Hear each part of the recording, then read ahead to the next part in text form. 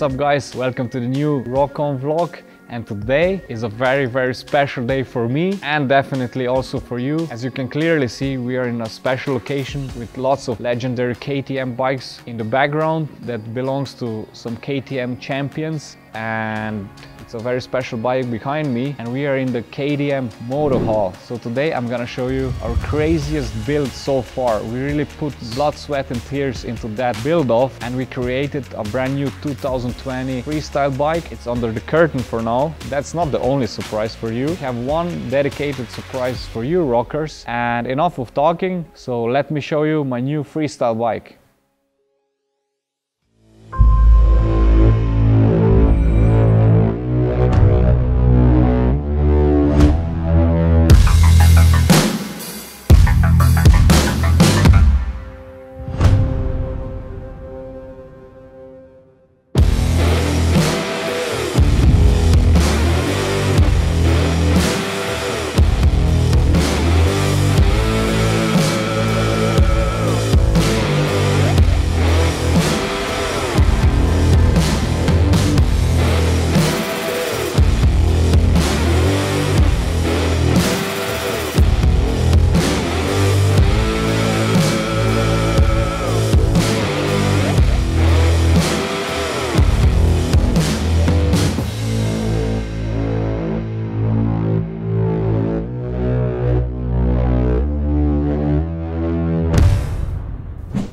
Back in 2017 we built my first KTM Duke 250 stunt bike and we changed a lot of parts and setup through the last years but we needed to breathe a fresh air to it and uh, adjust some stuff to bring my tricks to the next level. So that's the new bike and let me show you what we did to it.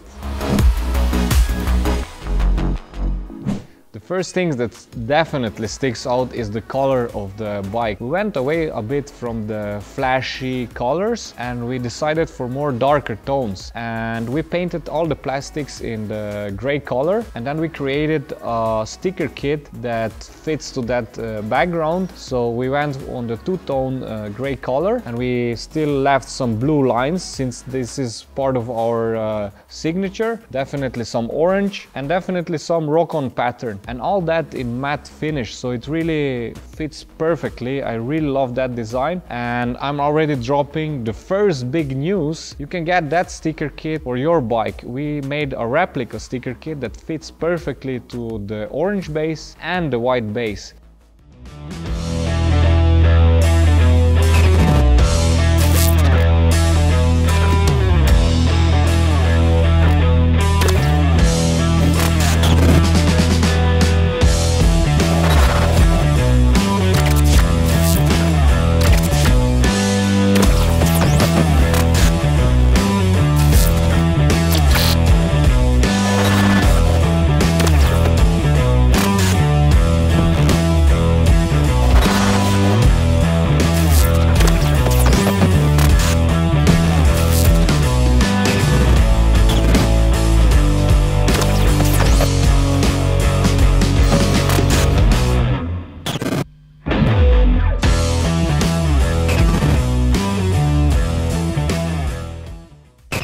So you can find this sticker kit on our online shop or in description below and you can get that sticker kit for your Duke. The next thing that we customized were the rim edges and we painted them orange to round up the whole design.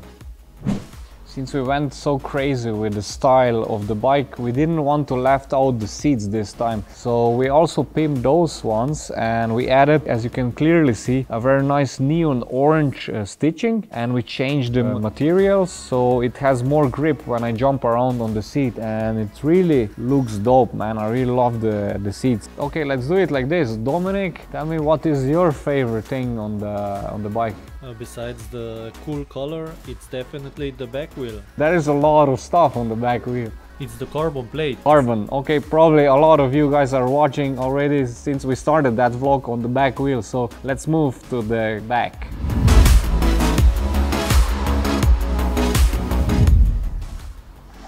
This is your favorite, right? Yes.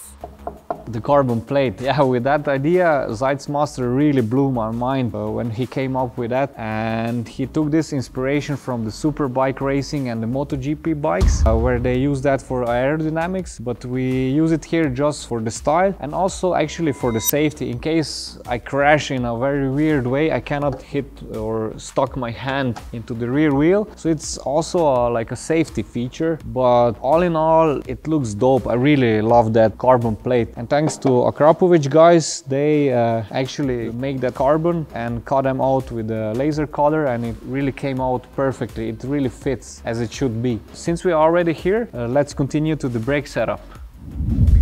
So for the next season, we changed my brake setup. In the past, I had a very big disc, 280 millimeters, and we went back to the stock size. Uh, we just added a racing brake disc from Motomaster, which really works perfectly on the high heat and the stress that I'm giving to the brakes. Then we added another uh, brake caliper. That's actually the same what I had in the past. Uh, the difference is I'm now using a stock uh, foot brake caliper, and all that it makes makes the whole braking much smoother and it's not so aggressive anymore on the slow tricks. So it really uh, works perfectly and uh, we are using in both calipers sintered brake pads so it gives me enough bite when I need it but it's still not too aggressive because we have a smaller disc. That's my new brake setup and I really love it. It's strong enough but still smooth. High chair. the next important part that we customized is the stunt tank. And what we did to it is we take the original one we cut it away and we welded a nice plate to it and we designed a seat out of it so I can sit on it and stand on it and on top of that we have a grip tape so I don't slip away when I have uh, shows in the wet conditions. So the stunt tank is a crucial part of each of our stunt bike builds and this beautiful bike it's a stunt bike which means we're gonna have a lot of crashes so we need to protect it. Let me show you how we did it. Oh man.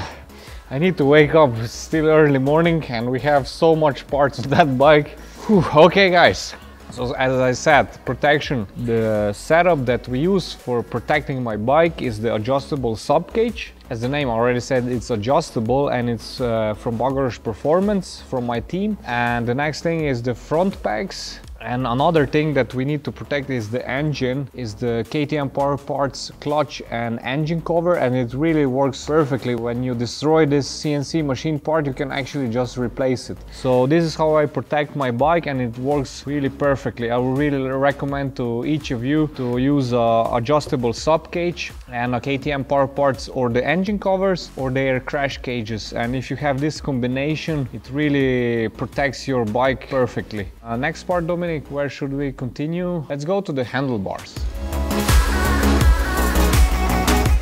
On the left side you see a lot of levers. On the bottom is my second rear brake which is a standard to all the stunt bikes to control the tricks and the balance and for that I'm using the Magura HC1 13mm radial master. Above is the Bagoros Performance Easy Pull Clutch and I am using both of those levers at the same time when I'm doing tricks. On the top is the second throttle or the idle control, so I can do the no-hand tricks and other acrobatic tricks where I don't need my hands on the handlebar. Right side, I have a KTM adjustable brake lever and it sits on the OEM brake pump and to round the, everything up and make nicer, we used a bit of bling bling, KTM Power Parts CNC machined cover. All those controls sit on my Magura Rock handlebar. It's much stronger than the stock one. It has less back sweep, so it's more straighter. It's uh, You have more control when you're doing tricks and of course in a black finish. So this is my handlebar setup. Without a wheelie bar, there is no stunt bike, so that's why we have a wheelie bar on it. But no, I, I need it for stand on it. So we have a grip tape on it and also a scrape plate out of titanium for lots of lots of sparks when I scrape on it. So yeah, that's the wheelie bar. Let's go to the next part. The whole bike sits on the Avon tires and on the rear I'm using a 3D Ultra Sport and on the front I'm using the Avon Spirit tire.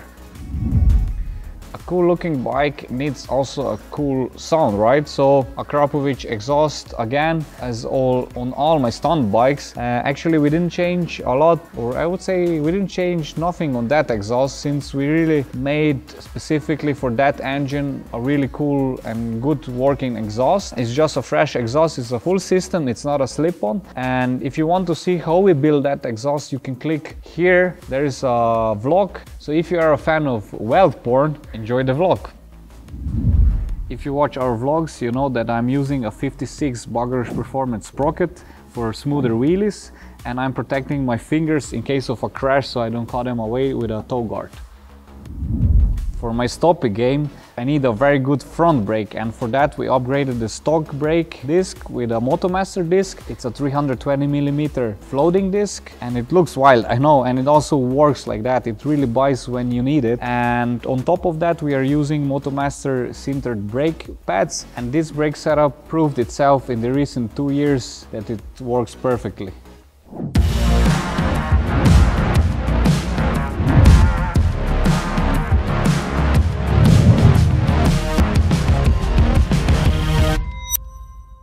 Okay guys, that's my new 2020 stunt bike and another sick stunt bike build is in the books and I cannot wait to make the first show with that bike and to see the reaction of the people and to see actually also the reaction what you say about my stunt bike now on the YouTube. So drop some comments below what you think about it and what you would maybe change or, the, or what you like on the bike. And that's not the end of the vlog. I have another big surprise for you. Are you ready? In three, two, one, bam! You can guess what it is. It's a new year, which means we have a new design for the helmets. Let me show you how they look like. Okay, Dominic, which one first? The off-road or the street one? The street. Okay. Drum rolls, boom! Sick, right? Oh yeah. Do you see? Same, same. Same, same, but different. No difference, it's the same. and the off-road, drum rolls, drum rolls. Ta-da! Boom! Brand new 2020 RokON Scorpion Exo helmets.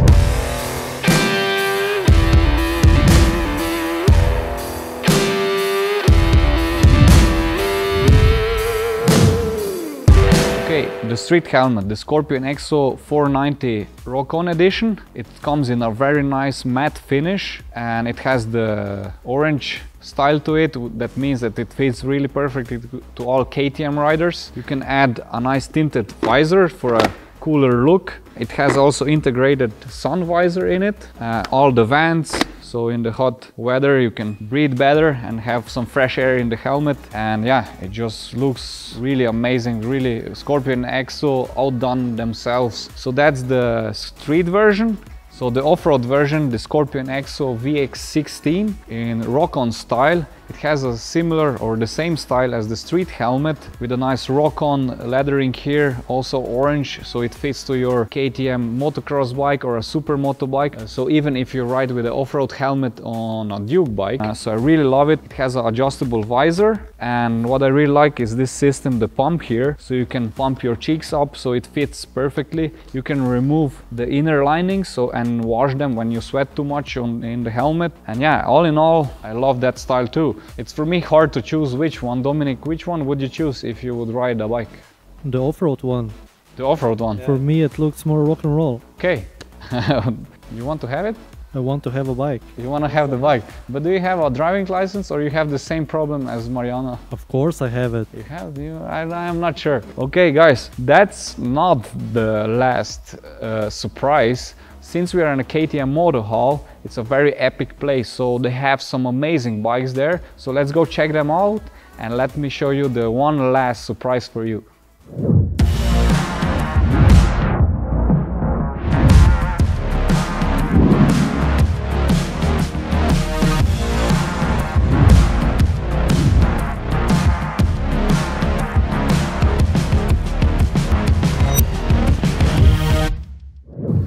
all that still don't know what KTM Moto Hall is, it's actually a brand new museum that opened its doors this year and it's a perfect place for all the motorsport fans and definitely KTM fans and you have a lot of cool stuff to see from its early beginnings uh, of the KTM brand and the first bike that rolled out on the streets to the latest and newest off-road or street bikes. And one of the corners that I personally really like is this corner here where we have prototype bikes that we always see on the big expos as a teaser what comes. And why is it so fun for me? Because here are two bikes that excited me for the KTM brand. Dominic do you know this legendary bike? Yes, I remember it. It's a 125 Duke. Do you remember the prototype bikes? It was two bikes actually. One was the race version and do you remember the stunt version, the 125? Just from the pictures. It was kind of greenish if I remember. Maybe you can play the picture in the vlog here. And exactly that bike made me so excited about the whole KTM brand and it gave me the idea to go from the scooter stunts to a bike and it was the perfect transition from a low CC scooter to a, a bit bigger but not too big CC bike so I can really learn the tricks step by step. And that was, do you remember the time when we first picked up the KTM bike, the 125 prototype? That was like in 2010 winter. Do you remember? It was a snowstorm outside. Yes, and you trained in the winter. True, so we needed to film a video how I pick up my first KTM bike, but it was a snowstorm outside, so we went to shoot in the factory itself. You can check the video right now.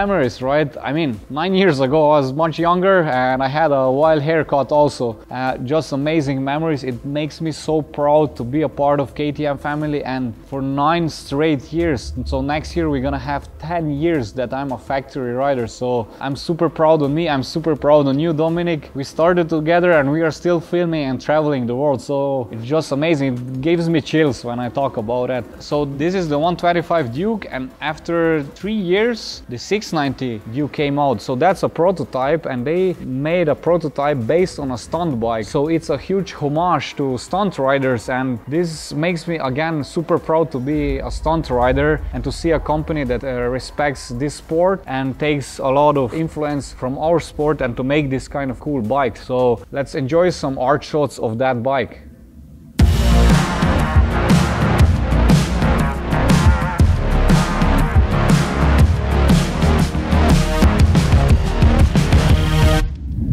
Prototype section to the street legal section. Actually, I'm standing to very awesome bikes. The early beginnings of the Dukes, that's the Duke 2. A few steps behind me, it's the Duke 620 that came out 1994. Maybe you know, maybe not, but it's 25 years of Dukes and I'm super honored to be a big part of that progression and the history, the progression on the technology, progression on the style. Yeah, I always love that section too. Here you can see in the Moto Hall uh, the first Duke and to the last, the latest Duke that it's out. So let's go over there where are the Dukes that I'm actually also riding in my vlogs.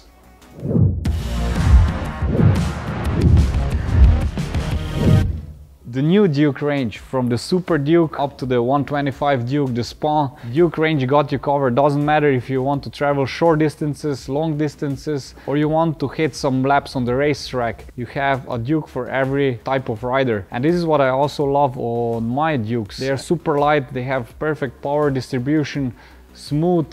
I can make the tricks that I want. And do you remember I promised you a one more surprise? Let me show you what I got for you. To celebrate these 25 years of Dukes, we stick our heads together with KTM and I told them I want to make a very cool giveaway for our Dukers. So they said, Rok, no problem, let's do it. And they gave us to give away, be ready guys, this big KTM travel bag, this cool backpack, a cap, a shirt, the same one that I'm wearing in this vlog today, and a hoodie in the same style. So all you need to do is hit the subscribe button, share the vlog, and tell me what is your most memorable KTM experience and if you don't own a KTM, which KTM would you like to have and what you would do with it. And we're gonna choose one winner out of top 10 most liked comments and yeah, I hope I'm gonna see a lot of comments and good luck to you guys. And we are on the end of the vlog, unfortunately guys. So if you want also to come to the KTM Moto Hall and see the history of KTM bikes, you can find the link in description. That's it. I love my stunt bike. I need to go now to ride it, practice with it, get ready for the next season. So see you in the next one. Until then, rock on.